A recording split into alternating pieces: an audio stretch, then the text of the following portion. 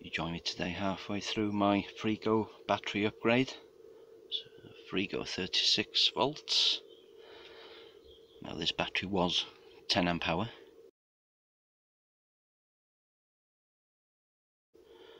But filling up the existing holders gives me 20. It is, it's not 20, it's 19.2. 20 sounds better. Yeah, this, this kind of Freego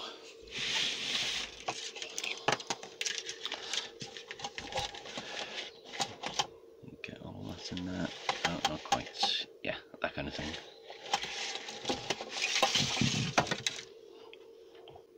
I'm using Samsung cells for this upgrade.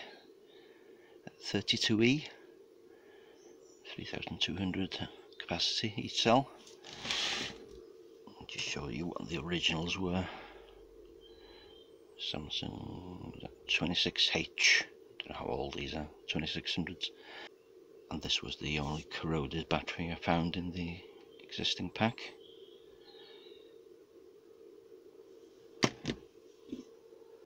Voltage 1.1. That's full.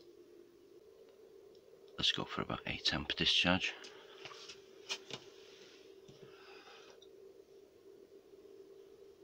Seven, seven times, well, that's 280 watts, that's good enough. It's a 250 watt motor.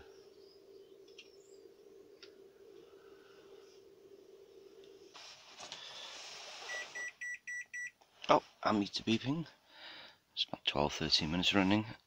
Voltage hardly dropped, as you'd expect with all this extra capacity. Let's have a look at the gauge. Just about get in there. Full. That's it, all back together, ready to go back to Steve has been upgraded from 10 amp hour to 20 amp hour.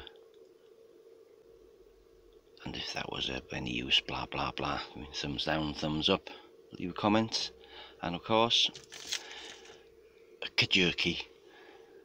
Mmm, jerky. Extra bonus on this pack, which I haven't seen on another Freego pack. It's got USB ports. Good.